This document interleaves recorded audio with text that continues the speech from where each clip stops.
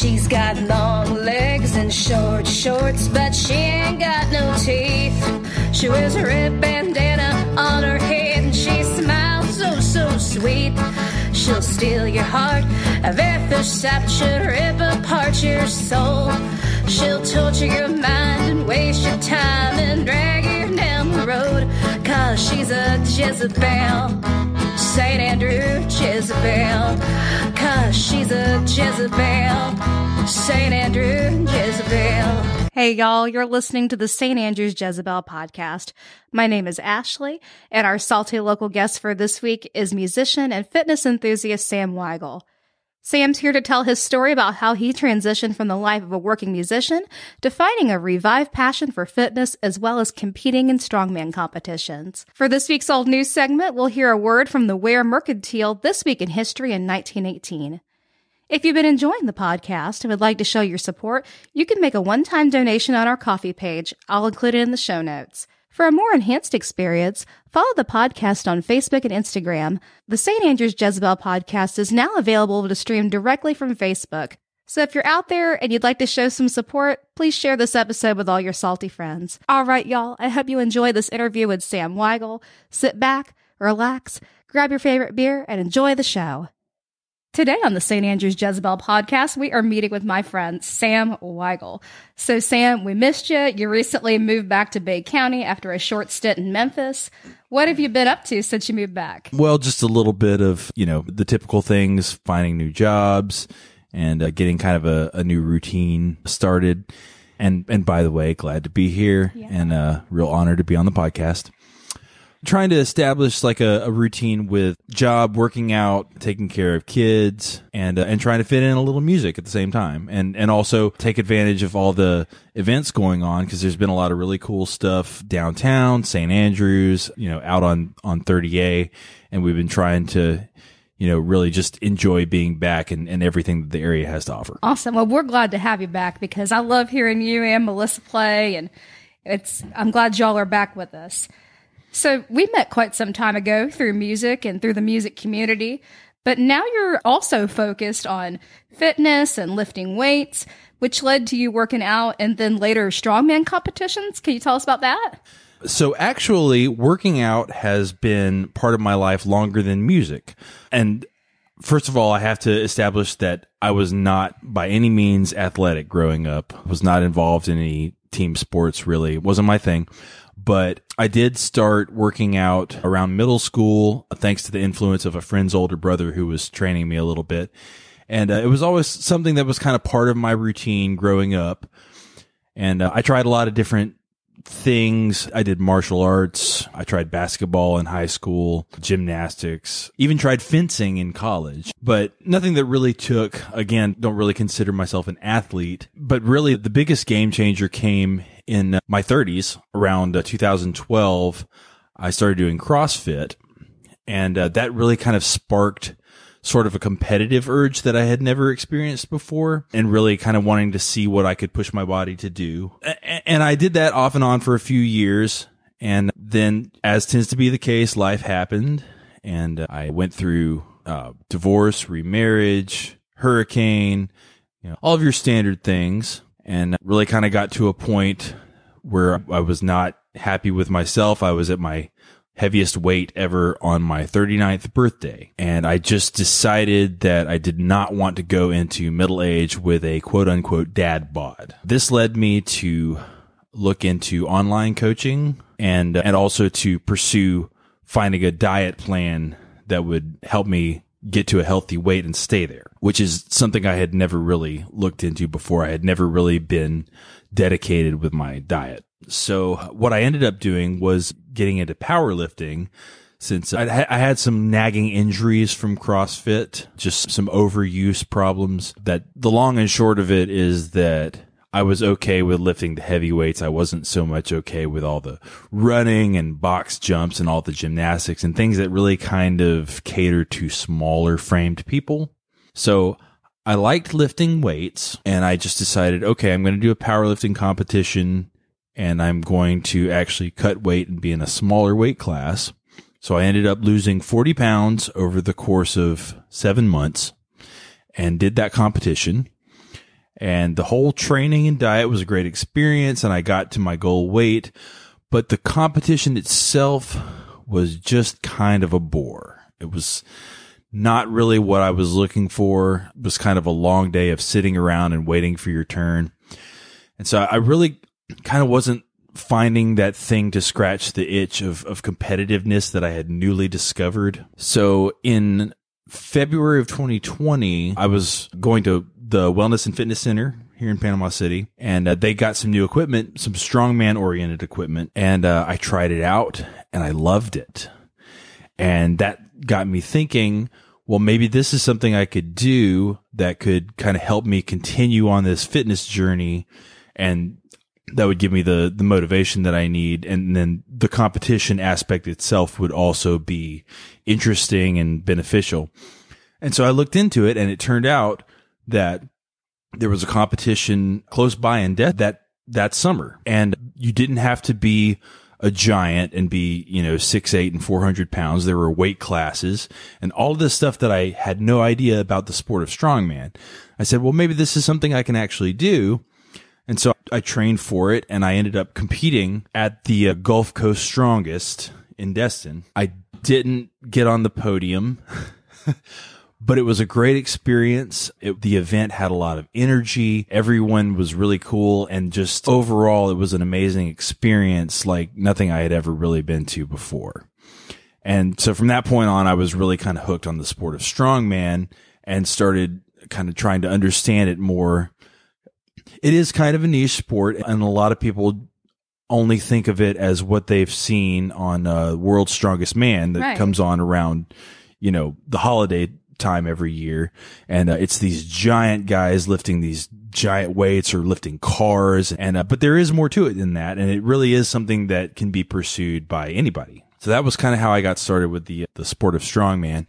And that just led me to learning more about fitness in general and about, you know, how to maintain a diet that would let me achieve my goals. And that's really kind of one thing led to another. That's where I'm at. Awesome. So, what's the biggest takeaway you've gotten on your education as far as nutrition goes? It really all comes down to the principle of energy balance, which is to say, if you eat fewer calories than you burn, you're in what's called a calorie deficit, which ultimately means you're going to lose weight. Mm-hmm. If you eat more calories than you burn, you're going to gain weight. That's a calorie surplus. That's really the, the fulcrum principle of dieting in general. There are all these popular diets. There's, you know, there's keto, paleo, low fat, low carb, what have you. The, but the ultimate goal is just to cut out whatever foods are keeping you from eating within that range that keeps you in energy balance and allows you to either stay the same weight or lose weight. And the easiest way that I found to do that is just to track your food with an app. And uh, through that process, actually several times over the last few years, I've managed to get from whatever weight I was at down to, to my goal weight because in, in whatever, you know, if you're in a competitive strength sport, a lot of time you're going to be in a weight class and you have to be able to maintain that body weight uh, regardless of any other factors. And so that's the easiest way to do it, really. Awesome. And so, what would you say to someone who's given up living a healthy lifestyle? And what is the first change that they can make in the steps in the right direction of taking charge of their health? So here's the issue I have with the way the the fitness and nutrition industry tends to present the issue of trying to lose weight or find a healthy lifestyle. It's often presented as an attempt to make the smallest change possible and basically still maintain the lifestyle that you're in previously. The problem I have with that is I'm going to talk about a couple scientific principles here. One is homeostasis, which essentially means that your body tries to maintain the status quo no matter what. So if you present a stimulus that doesn't really cause your body to deviate from what it's accustomed to, it's not really going to make a permanent change. So if you try to make a big change to your health or your weight by making one small change, like say cutting out soda, that may work for a little while. That's not going to elicit the kind of long-term change that most people are looking for. And and the other principle is escape velocity. So when you have a rocket that's trying to leave Earth, it has to reach a certain velocity where it will continue to travel past the atmosphere and escape from Earth's gravity without continued application of force.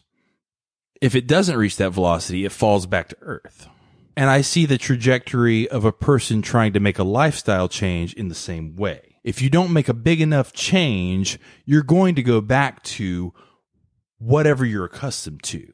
So I may be in the minority in my thought process on this, I actually think the best way to approach making a big change to your lifestyle and to your pursuit of health as making the biggest change that you can make without completely upending your life.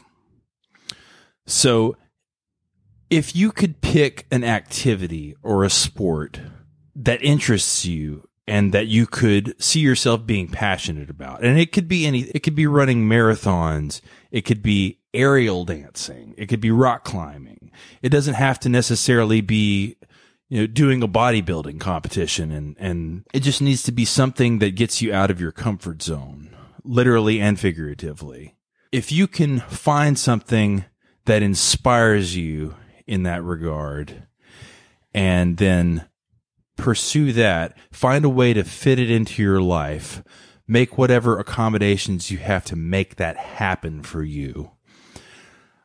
I personally feel like that's the most effective way to make a really big change in your health.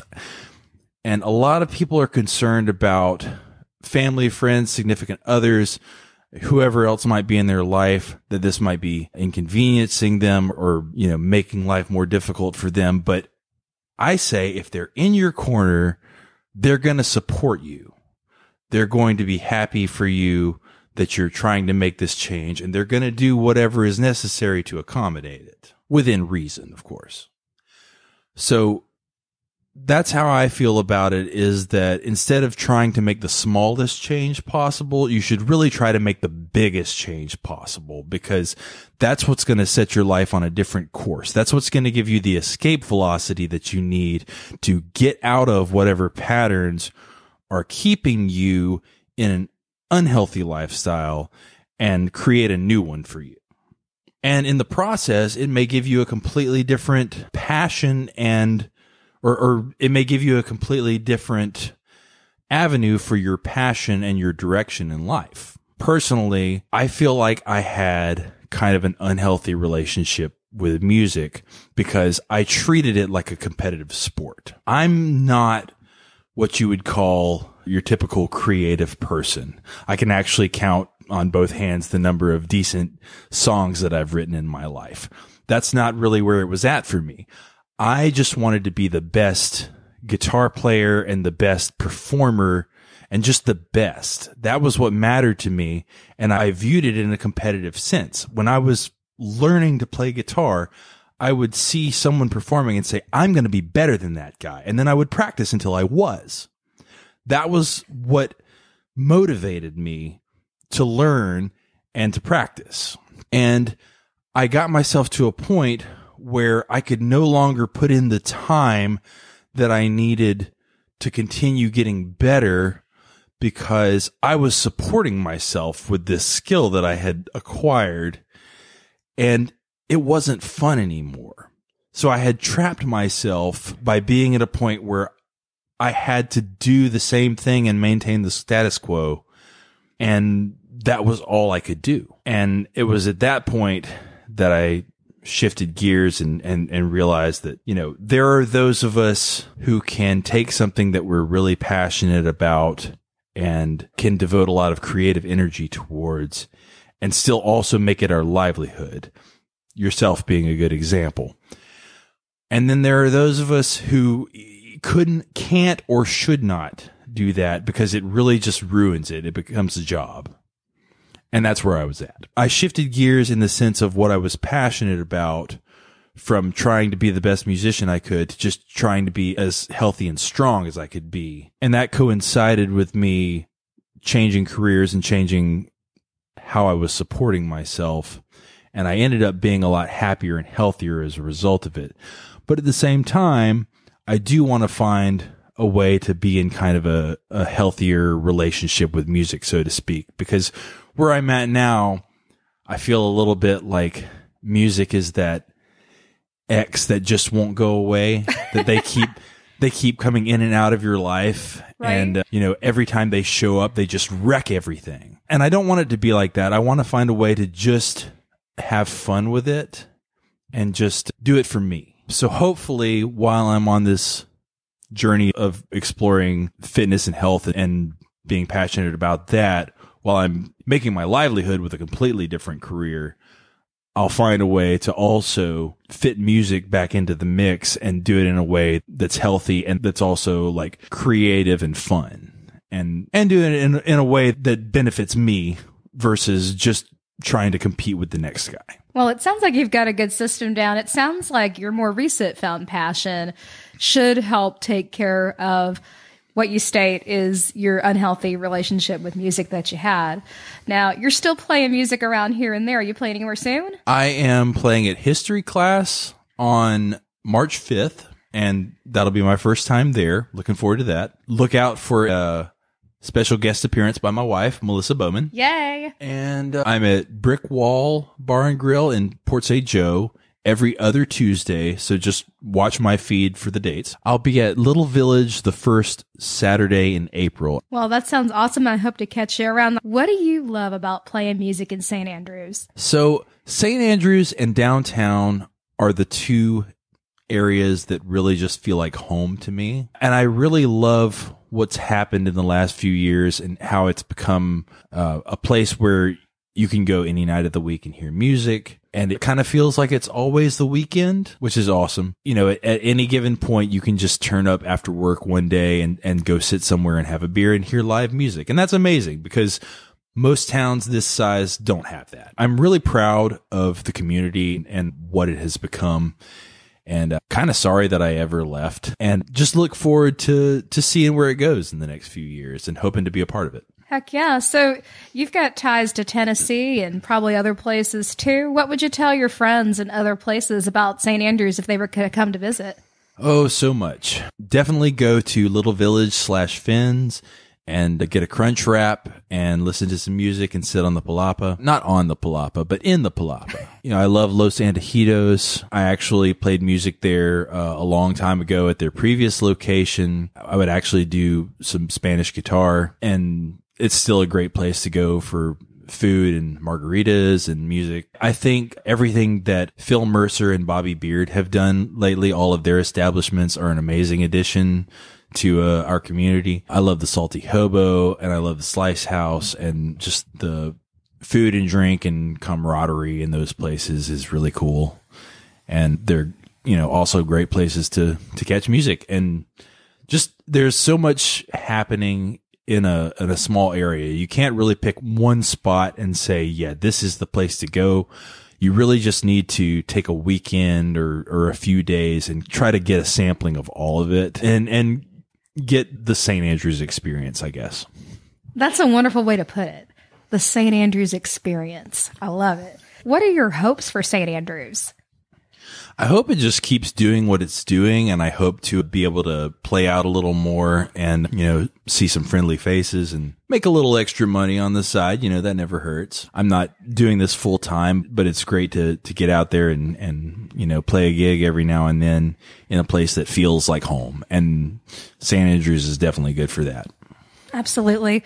Well, thank you so much for being here. Thank you for all the positivity and encouragement that you've given me and the podcast. I really appreciate it. And I, I hope to catch you playing live soon. Oh, likewise. Absolutely. Anything new or exciting coming up? And how can folks find you online and beyond?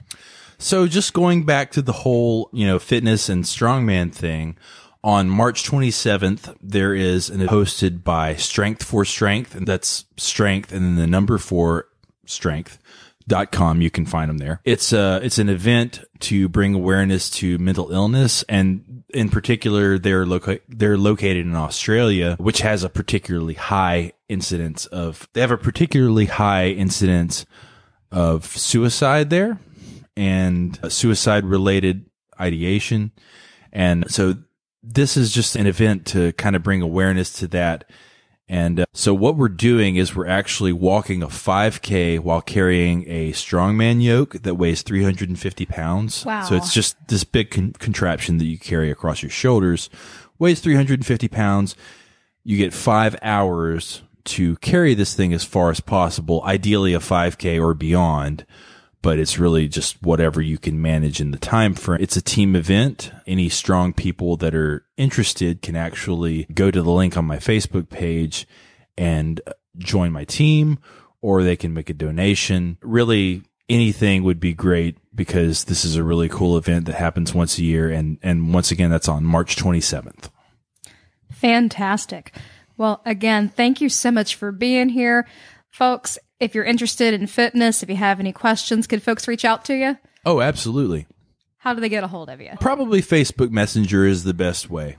All right, and spell your last name for us. W E I G L E. Fantastic. Well, Sam, thank you so much for being here on the St. Andrews Jezebel podcast.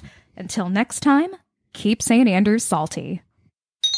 One of the best things about St. Andrews is that you can see live music every day. That's right. There is live music being played somewhere in St. Andrews seven nights a week. Fortunately, my friend Ken Schaefer creates and publishes a weekly schedule for St. Andrews as well as most of Bay County. Ken's spreadsheet schedule is updated often when there's any changes. Ken also shares individual music events and is walking the walk and talking the talk when it comes to supporting live music.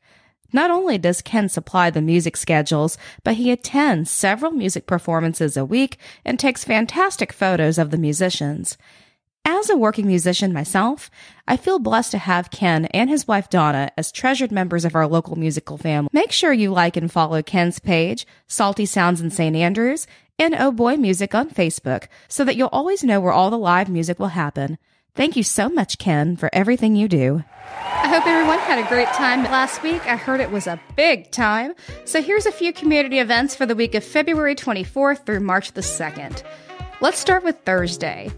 So last week I went to collaboration night at the library on Beck. It was hosted by Stephen Meyer, and I must say he is an awesome host. He makes everyone feel so welcome, and I heard some really great music that night. They'll be doing it again this week on Thursday night, starting at about 7 p.m. Moving on to Friday night, Chris Wade is playing at Little Village from 6 to 9, so that's a good time for you to get out and get your taco fix, and they've also got a nice little beer selection at Little Village as well. Saturday, you've got the market at St. Andrews. I believe they begin about 8 or 9 in the morning. And then at 10 a.m., there's live music at the market brought to you by Floriopolis. And it is also the sixth annual Salty Dog Day event. They'll be celebrating all things dog in Salty St. Andrews this Saturday, again, February 26th from 9 a.m. to 2 p.m. This dog friendly event will be an extension of the market at St. Andrews, with proceeds benefiting Operation Spay Bay. Socks, the current Salty Dog Mayor of St. Andrews, will greet visitors to the market and will announce the new winner of the Salty Dog Mayor's contest. The market will include unique Salty Dog t shirts, dog merchandise, vendors, veterinarians, treat stations, dog food play area, food, music, shopping and entertainment, as well as blessing of the dogs, adoptions, and a silent auction. Sunday Fun Day is always the best in St. Andrews. I absolutely love it. One of the best places to get brunch is at Alice's on Bayview. I usually get the Bloody Mary and the shrimp and grits. I love it because they usually have live jazz music. It's a wonderful atmosphere. Another option for you on Sunday would be the tap room. They always have music around noon, and the music is always fantastic there. They've got all that great craft beer. It's a wonderful courtyard to just sit back with your friends and enjoy yourself.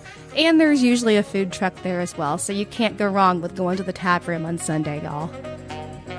Let's go on to Monday. So, Monday is Monday Night Little Fest, and that's also at Tap Room, and that starts at 6 p.m. I really love Monday Night Little Fest because you really get to see the local music community in a more casual setting. It's not quite an open mic, it's more like a showcase, and it's a wonderful time for you to see some great local talent. Let's go on to Tuesday. There's trivia also at Tap Room, and I think they start around 6 or 7. You might want to check their Facebook page to be sure. Wednesday, there's public hours at Floriopolis from noon to 5. Also on Wednesdays, there's a comedy open mic at the library on Beck, and the sign up is at 7.30, and this is brought to you by Panama City Comedy. That's all the community events I've got for this week. Tune in next week for more. And now a word from our pretend sponsor from the St. Andrews Bay News, published February 26, 1918. Summer is jumping over spring, but we are prepared for it. Sun hats for men, women, and children, white canvas boots, pumps, and oxfords for ladies and misses, $1.25 to $3.50. Tennis shoes for men and boys, a dollar to a dollar fifty. Dandy line of shirts, 75 cents to $2.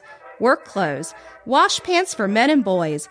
And don't forget that we have the prettiest line of gingham in Bay County. Ware Mercantile Company, the Pioneer Store. Chaz Cotton Manager, headquarters for groceries, hardware, feeds, etc. St. Andrews, Florida. Thank y'all so much for tuning into this week's episode of the St. Andrews Jezebel podcast. Make sure you tell all your salty friends to follow us on Facebook so they'll receive a notification every Thursday when episodes go live. We got some great guests coming up, y'all. On March 3rd, we've got Henry Brigmond of Beach 95.1 and Keller Williams.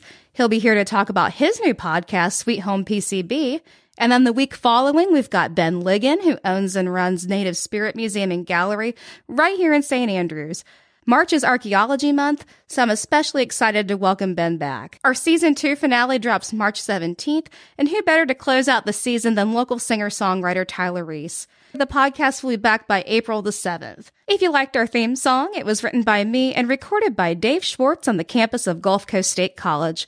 The rest was written by me and recorded in my music room, with the interviews recorded at Floriopolis. See y'all next Thursday. Till next time, keep St. Andrew salty. Red lipstick, so thick, and a push-up bra. Tramp stamp, stretch marks, and a lacy thong, cause she's a Jezebel. St. Andrew Jezebel, cause she's a Jezebel. St. Andrew.